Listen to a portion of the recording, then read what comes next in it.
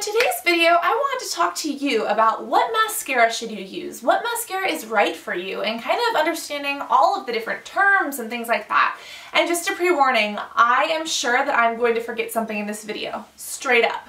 There are so many different things to discuss when it comes to mascaras, different wand types, different formula types, different colors, waterproof, non-waterproof. I'm sure I'm going to forget something, so we'll probably have to have a part two or a follow-up, but if there are any questions you have during any time of this video, please post a comment just as soon as it pops into your mind and I will try to respond to it, or I will try to film another video or a blog post in the future.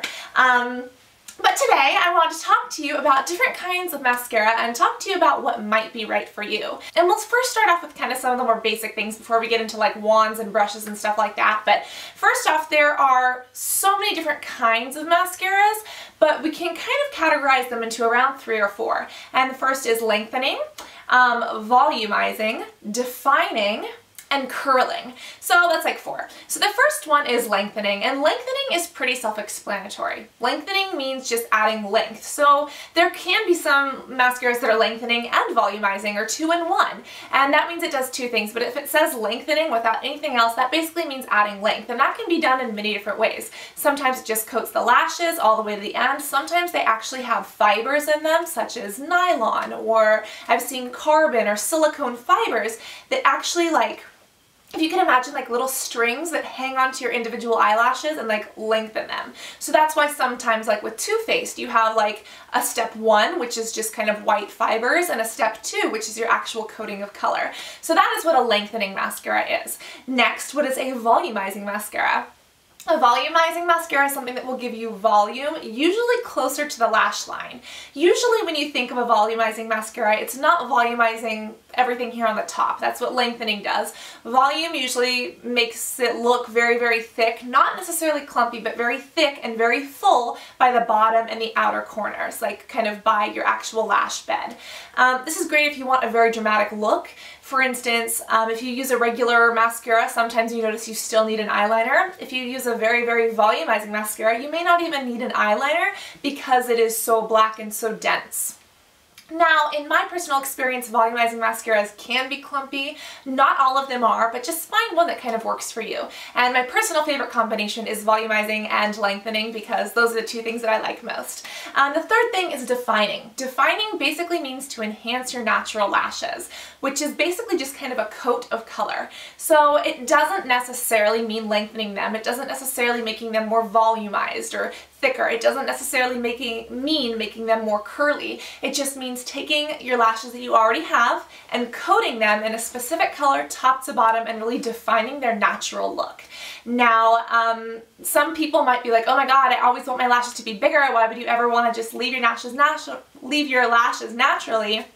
But there are some people who naturally have such very thick or such very long lashes that if they put lengthening mascara on, it's like it curls into itself and it's poking them up on their um, eyebrows or, you know, it's just too black for them or too thick for everyday wear. Um, so defining is great for just an everyday look. Um, even if you don't have super full eyelashes, it's perfect, just a perfect touch of natural looking um, mascara to finish anything off. So the, fourth thing is curling.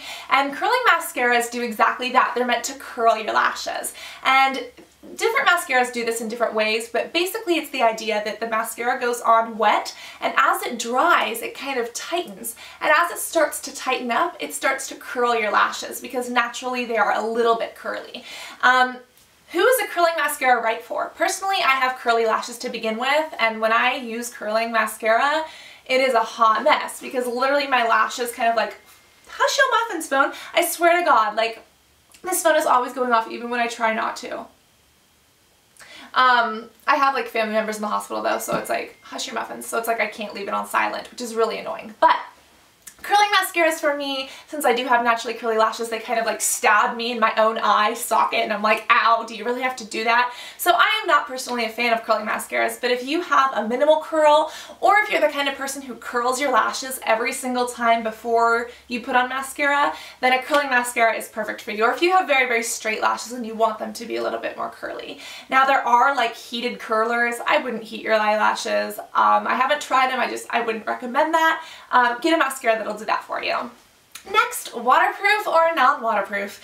Um, and this is more than just going in the water. Non-waterproof just basically means it's easier to remove. So when would you use waterproof? Obviously if you're going swimming, but many times if you're not.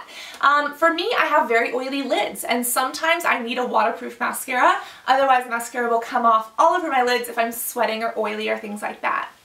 So although waterproof is good for the water, it's also good for long wear. If you want to go from morning to late, late at night, if you're going to be dancing, sweating, um, running, anything that can kind of mess it up, waterproof is for you for that occasion.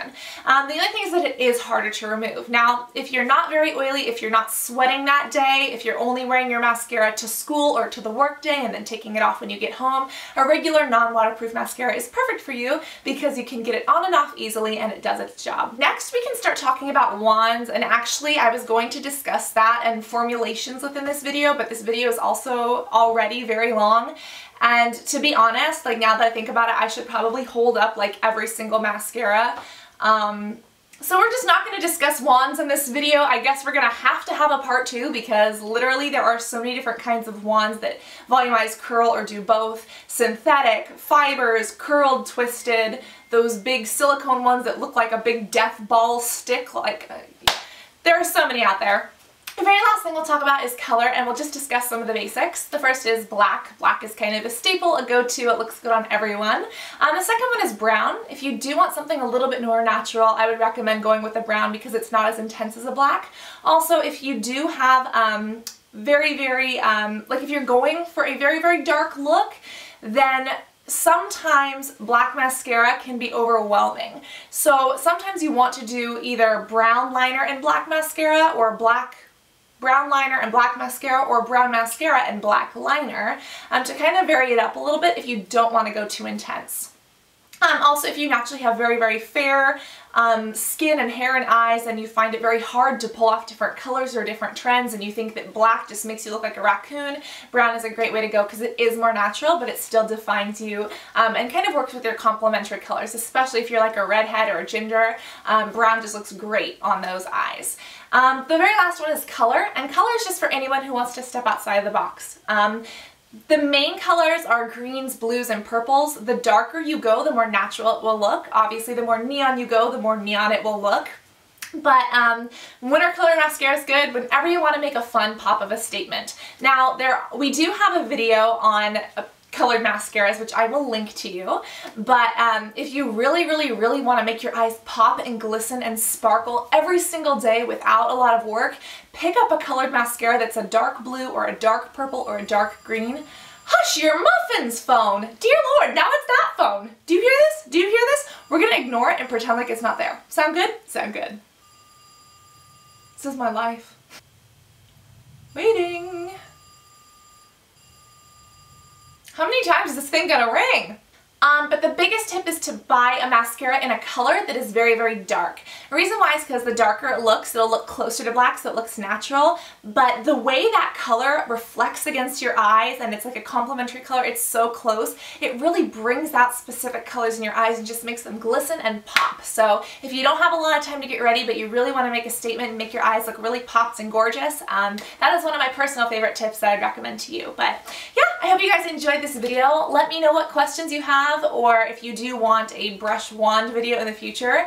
Um, but I love you guys. I really do hope this helped and I cannot wait to talk to you all in the next video. Love you guys. Bye.